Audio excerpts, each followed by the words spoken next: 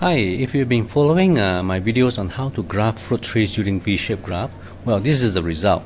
this is the uh, graft, the V-shape that I grafted it uh, last winter and uh, it's flowered and it's giving me fruits. Uh, I've got uh, four nice you know, size apples on here.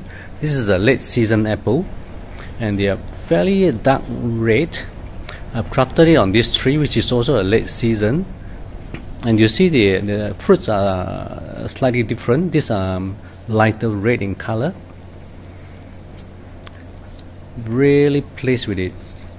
Um, we're gonna uh, be tasting it soon. There you go again. The uh, graft is here on this um, branch here. And the fruits there. So it is fruiting really well. So they're showing the graft has taken really well I'm really pleased with it. Thanks for watching.